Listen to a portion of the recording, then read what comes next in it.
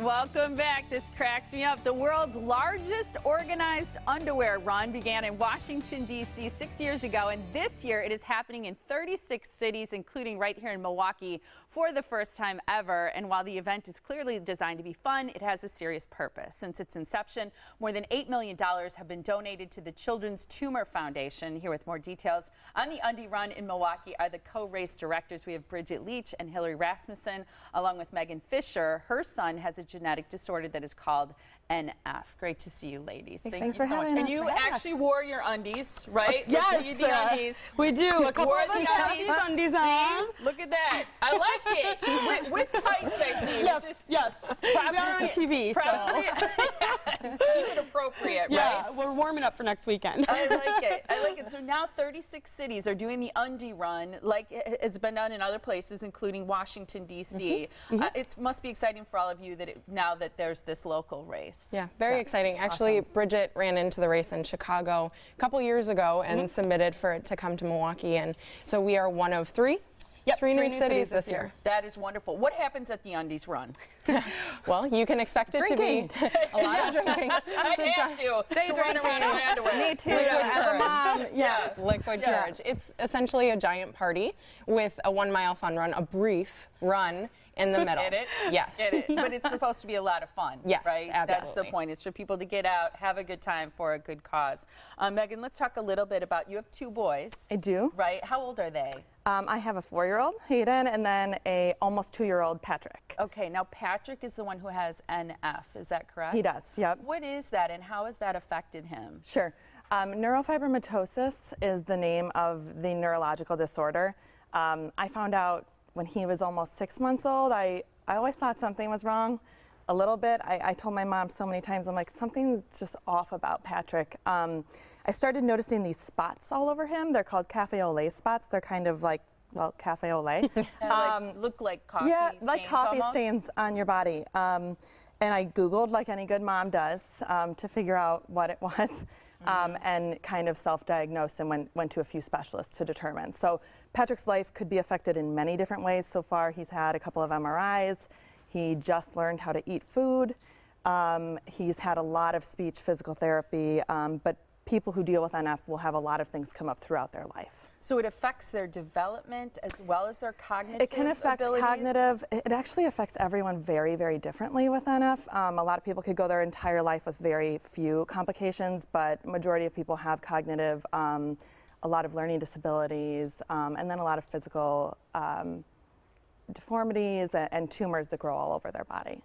This this run and, and this particular cause is for kids of all different types of tumors. Is that right?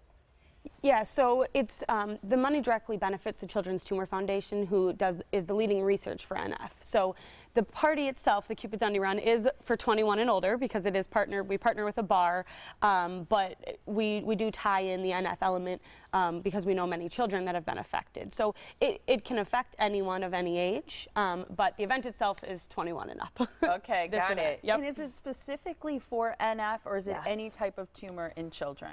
No, it's specifically for NF, and, the founder, the Leathers family, um, they started it because their brother Drew actually was a totally normal high school kid who was involved in sports and started to come down with a lot of complications.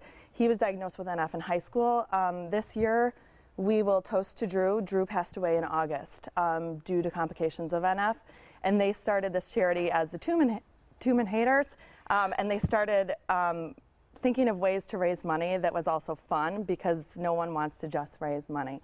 Um, they started the Cupid's Undie Run in DC, and since then it's been exploding um, all over. Well, and I think that's the thing. You know, you br- you bring up a really good point. The guy who's doing the cartwheel in his underwear just cracks me up. But I think you bring up a good point. Is it's one thing to be part of an event, to give money, to donate money, to support a good cause. But when you do something um, that's fun, Yeah. that sort of attracts attention because it's a little bit something off the beaten path, so to speak, and it's in the winter Yep. um, that people are wearing their undies I think it lends itself to generating that much more interest and enthusiasm for something like this that's so important. Absolutely. And I think something that we kind of say in to pitch the run is it can be very uncomfortable for someone with NF to live a normal life. So the reason we wear our underwear is to put ourselves in an uncomfortable situation because it's a judgment free zone.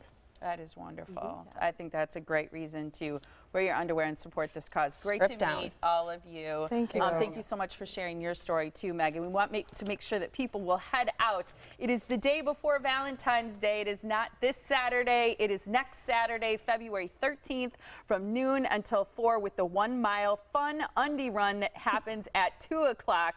You can find them all hanging out in their undies at Uglies on Old Third Ward. You can even just go probably to watch if you don't want to participate in the run. I would. People do.